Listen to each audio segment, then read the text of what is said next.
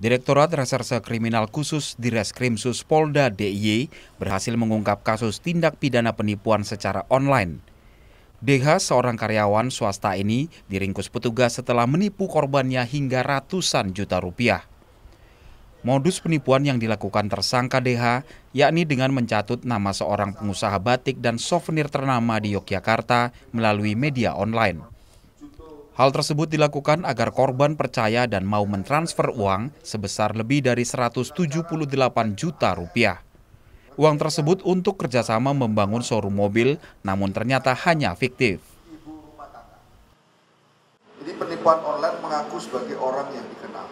Jadi seolah pelaku ini mengaku pemilik salah satu usaha ya batik dan souvenir-souvenir di wilayah Jogja ini.